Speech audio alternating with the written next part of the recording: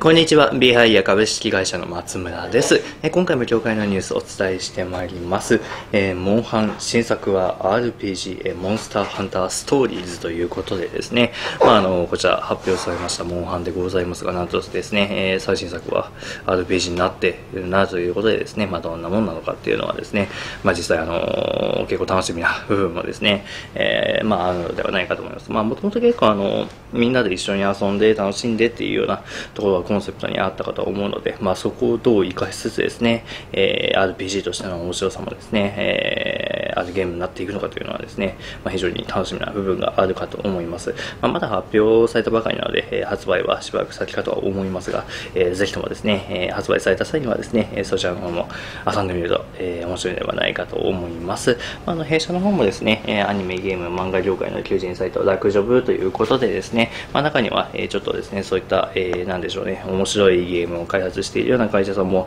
えー、多くございます。まあ、他にはですね、えー、VR の技術を使ってってという会社さんもあったりしますし、まあ、いろいろ本当にございますので、えー、ぜひともですね、興味のあるという方がいらっしゃいましたら、一度ですね、えー、ラクジョブ検索してみていただければと思います。どうぞよろしくお願いします。